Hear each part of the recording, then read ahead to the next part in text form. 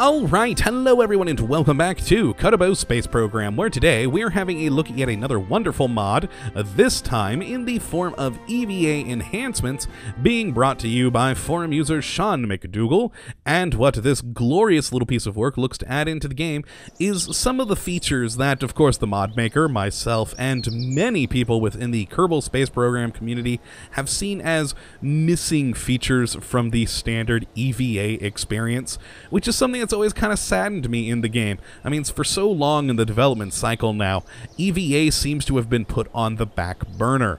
We get all sorts of lovely new parts for rockets and planes, and don't get me wrong, we all love those things. They're glorious. But sometimes it's nice to get out of our rockets and planes and you know just putter about in EVA and it's been kind of disappointing that it seems to be just so lacking in features. And well that's where Sean McDougal here comes in with the EVA enhancement mod to try and bring in some of those features that we've all been craving. So since that means uh, actually going on EVA we don't need to look at any parts today so I have gone ahead and put a two-stage lander on the moon, of course using HyperEdit for simplicity's sake. So let us just go out here and grab good old Jebediah, as I feel he'll probably be the best to show off EVA, because, well, who doesn't like playing around with Jebediah? So let's just get him out of the ship. And first thing you'll notice, we're on EVA, and we got a freaking nav ball. Lovely. It's one thing that a lot of people have pointed out for ages now. It seems kind of strange that the nav ball isn't visible for EVA. And, well, yeah, that is strange, especially if you're trying to do like a long distance EVA, which some people do enjoy doing. It, it would be very handy to have this nav ball here because, well, it's of course got a compass on so you know your direction. It does have like your speed, etc., which are always good things to know. And now with this nav ball being on EVA, it's actually been customized a bit for this mod, so that different bits and bobs of the navball here light up in different ways, uh, to mean different things for EVA over your normal course of ship usage, which we'll go over bit by bit as we go over all the features. Now, first thing I do want to go over is, of course, jetpack controls, as that is probably the most used thing on EVAs out there. So let us just hit R to start it up, and you'll notice that the RCS icon has come on, and also our throttle has gone all the way up to 100%. I'll go over why that's significant in a moment, but first, the actual controlling of our Kerbal in the jetpack mode. You know, we've got the basic simple controls of, you know, you got your shift to go up, control to go down, as long as you're using the standard key bindings, and then WASD to move forward, max side to side, etc. And the most annoying thing always was if you wanted to pitch or roll your Kerbal. What you ended up having to do is clicking and holding and dragging your mouse around to pitch, roll, etc. And it's kind of annoying and horribly unintuitive. I mean, you're already using the keys to control your movement, so who in the world, if they weren't shown this, who would actually think to themselves, oh yeah, I need to pitch down? Well, let's click and drag up to pitch down. No, that's crazy, honestly. I don't understand why the developers thought that that was a good idea.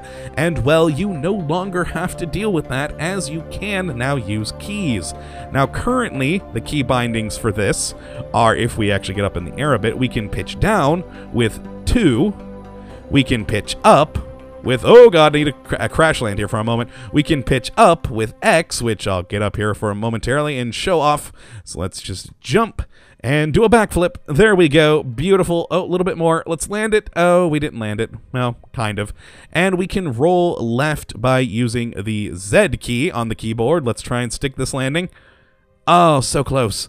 And we can roll to the right with C. Oh, no, I did X by accident. Hold on, hold on. Let's try that again and actually do C properly. So jump and C for us to spin round and round and round I'll never land those darn things. But yeah, so that gives us a lot more control over our pitches and rolls, and it's so much more convenient than having to click and drag from side to side, up and down. Again, I don't know why the developers ever thought that that was a good idea. That's it's not intuitive, it's not convenient. Keys. Keys work quite well, especially since you're already using them to control the rest of your EVA movement. So that is quite convenient, quite handy, and you're not stuck with just those keys that I mentioned. If we hit our little uh, Kerbal icon here, we get the EVA Enhancement Settings menu, where you can see pitch down, pitch up, roll left, and roll right all have buttons which you can rebind. So you can change these to whatever your heart desires, whatever you feel personally to you is the best best way of controlling this. And that that is just lovely. Another thing about the you know, the click and drag, that's that's all you have to deal with. Uh, that's all you have to go with, rather. Whereas this, you can change these keys to whatever you want. And now that we're here on the settings menu, it's time to talk about that uh, throttle that I mentioned before. As you'll notice, we have this default jetpack power.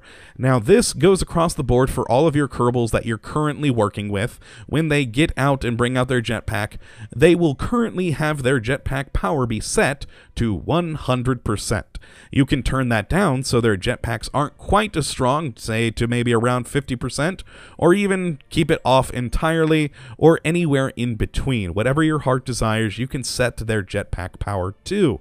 Now, that's for the default power for anyone pulling out their jetpack. Jebediah here already has his jetpack out, and so, well, he can control it individually here on him, because this isn't going to affect him because he's already got it out and moving around with it before I change this, but we can change it here as well. And of course, you can do it on an individual Kerbal by Kerbal basis. You can set the baseline of power that you want them all roughly to use, and then adjust it to your heart's desire. And as you can see, the throttle down here is moving as we move this jetpack power up and down.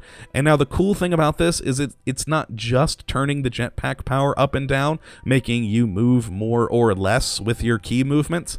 It's also taking into account how much EVA propellant it's using in the process. So the lower the jetpack power, the less fuel it's going to use to actually get you to move, which is very cool. I do like that as a feature, and it's it's quite convenient because, well, say if you're going a, a long distance, you don't want to use so much power, but you don't care much about your speed, so maybe set it down to 50% to sort of get yourself a bit further going. Or, you know, give yourself an initial boost up really high and then go for the distance on a lower power setting, etc. It's quite cool, quite convenient. And not the only way to control your jetpack power here. Now, one of the fun things whenever you're controlling rockets is you do have the ability to hit the caps lock key, again, if you're on default keys, to turn on a fine-tuned control mode for your actual control of the rocket or the plane. Now, you can do the same thing with your Kerbals. If I hit caps lock, you'll see our throttle went all the way down to 10%, and that is for precision control. And once you hit caps lock again, it'll go back up to whatever you have that Kerbal's defaulted jetpack power set to be. So if we have it at 100% and hit caps lock, it'll go down to 10 and then right back up once we turn it off. And this is a really cool feature because, oh my god, if you've ever tried to grab a thin little ladder while floating around a space station, you know exactly what I'm talking about. How much of a pain it can be when at 100% you just want to move slightly to the right and you just tap the D key here. Hold on, let me get back up in the air. And just tapping the D key, and look how far we went just from a simple tap. Now, if we have caps lock on, well, we're going to go a lot. Oh, God, oh, God. We also can't stay up in the air at 10%, but we can once again tap the D key and we barely move. So it gives you that fine-tuned control that really helps you control your Kerbal just how you want to, either by making him go really far or barely any distance at all with your jetpack thrust. And it's very convenient and it's just a way of giving you personally more control over how your Kerbal moves around, and that is a glorious thing. Now, the last feature that we have here is, of course, in regards to the SAS icon that we have. So if we don't have SAS on and we try and jump and move around and move the uh, camera around, we still continue to go forward because we're not actually turning with the camera. But if you would like to turn with the camera, you can hit T to turn on SAS And now, if we jump up into the air, you'll notice he turns to the direction that I am pointing with the camera. It's quite convenient. Now, you can still do it the default Kerbal way, if we turn off SAS, you can, of course, hit spacebar and it reorients your Kerbal in the direction of the camera.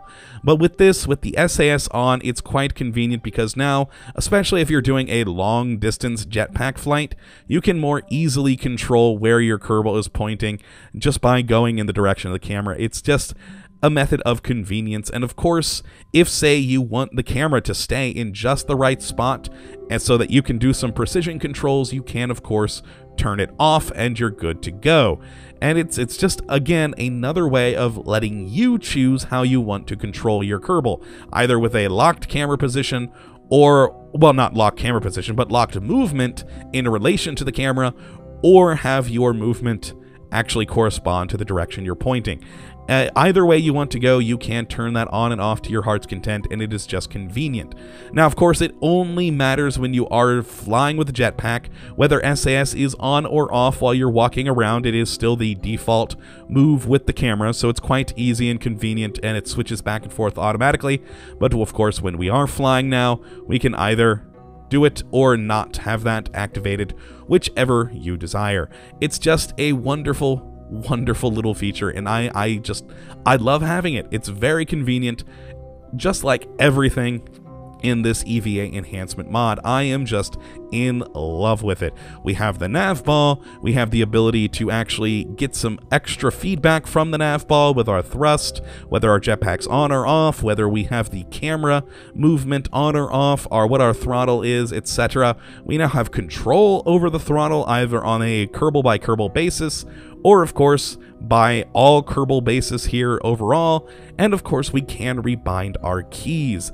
It's great. It takes care of a vast majority of the issues that I personally have with EVA control, and it's it's just glorious. I see myself constantly having this mod installed, and of course hoping and praying that they add this into the base game at some point. That would be lovely to have this all in as stock, but, you know, oh well, until that time, we do have the lovely Sean McDougall who has put together this mod for us so we can enjoy it and that just makes me happy. So yes, I hope you all have enjoyed this uh, video today, and of course, if you would like to check out this mod for yourself, you can take a look at the link in the description, and I hope you do uh, give it a try and enjoy it.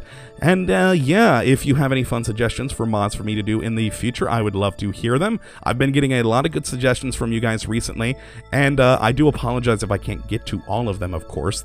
I only have so many uh, videos a week to do for these Kerbal Space Program mods, and when uh, some of you each uh, per person suggest like five mods.